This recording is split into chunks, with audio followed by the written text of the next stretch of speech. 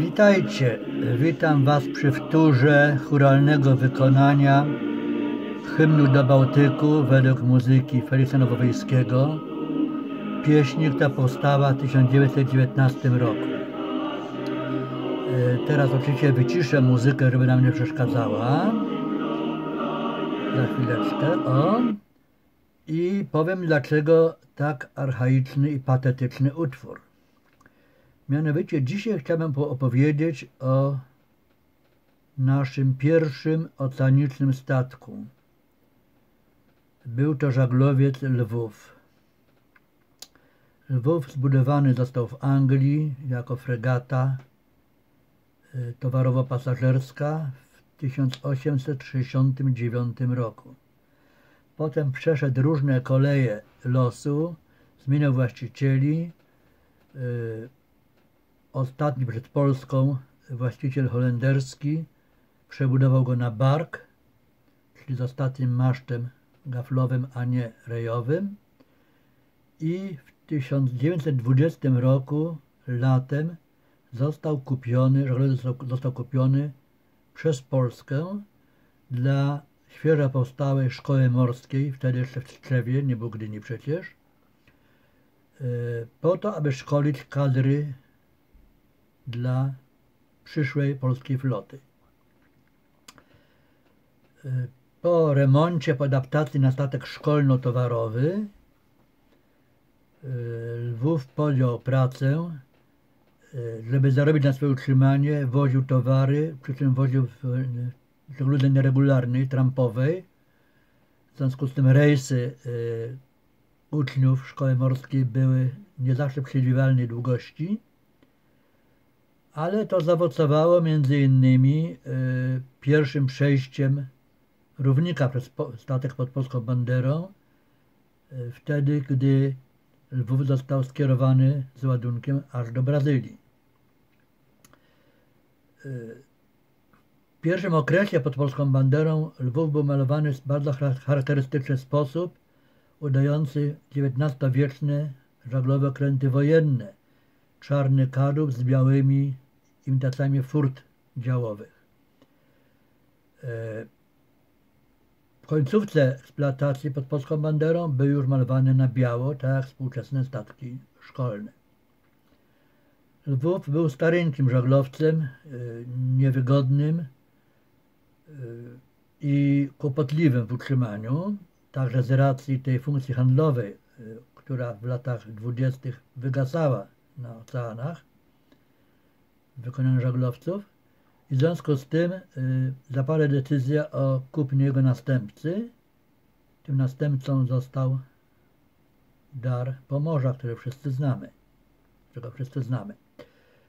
Natomiast Lwów, y, odstawiony z eksploatacji pod koniec roku 1929, został przekazany marynarce wojennej, służył jako hulk y, baza dla okrętów podwodnych, które wtedy żeśmy kupowali y, jako miejsce sale szkoleniowe, potem już tylko jako krypa paliwowa i w końcu w 1938 roku został y, oddany na złom.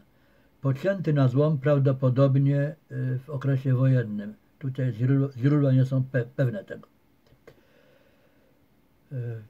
O czym warto wspomnieć? Że Lwów poza tym, że był pierwszy, że był tą taką pierwszą kolebką właśnie nie tylko nawigatorów, całej polskiej żeglugi handlowej, to Lwów także y, był miejscem, gdzie dowodziło trzech bardzo wybitnych i ciekawych kapitanów. Tu mała dygresja.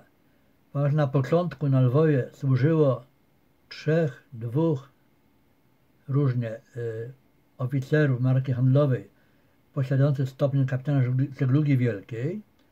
Wobec tego dla odróżnienia ich od siebie y, dowodzący y, Lwowem był tytułowany komendantem. Jedyny taki przypadek w polskiej flocie.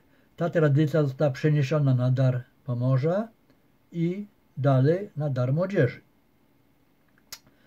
Ci pierwsi komendanci statków szkolnych w Polsce, czyli kolejni komendanci Lwowa, to byli kolejno. Najpierw y, kapitan Tadeusz Ziółkowski, wychowawca y, pokoleń, mniej więcej rówieśnik żaglowca. Po zakończeniu czynnego y, uprawiania żeglugi po oceanach pracował w Gdańsku, był m.in. szefem polskich pilotów w Gdańsku. Zasłużył tym na aresztowanie przez Niemców i na y, zamordowanie w obozie koncentracyjnym Stutthof, niedaleko Gdańska. Żółkowski nie był nie tylko wychowa marynarzem, wychowawcą, ale także żeglarzem. Yy, można powiedzieć, że jest takim, no, z pewnym cudzysłowiem, ale jednak pierwszym polskim żeglarzem. Potem był Mamert Stankiewicz, wsławiony przez y, Karola Olgierda Borcharta, który sam się na Lwowie uczył rzemiosła marynarskiego sławiony y, jako znaczy kapitan. Polecam wspaniałą książkę pod tym tytułem. Y, następcą, następcą Stankiewicza był też sławny Konstanty Maciejewicz, Matyjewicz, jedyny z nich, który przeżył wojnę i pracował w szkole morskiej w Szczecinie jako wykładowca po wojnie. E, każdy z nich był inny, e, każdy z nich jest legendą. E, mnie trudno oceniać ich wartość, ale chyba broni ich skutek ich działalności. Kadry znakomitych oficerów marynarki handlowej, odważnych i patriotycznych, bardzo solidnych i także umiejących, umiejących e, przygotować następców. Dlatego dzisiaj właśnie chciałem wspomnieć Lwów i jego dowódców. To byłoby na dzisiaj na tyle. Dziękuję bardzo. Zapraszam do subskrybowania mojego kanału. Dziękuję bardzo.